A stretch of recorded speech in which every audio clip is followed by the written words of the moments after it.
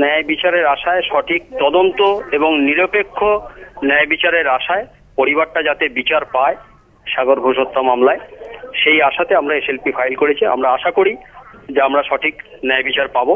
খুনে অভিযুক্তরা বহাল তবিয়তে থাকবে আর নিহতের পরিবারেরা সবসময় আতঙ্কে ভুগবে সেটা তো হতে পারে না। সেই হিসেবে আমরা এসএলপি ফাইল করেছি এবং উইন্টার ভেকেশন পর ফিফথ জানুয়ারির পরে যে কোনো দিন এই মামলাটার হিয়ারিং হবে।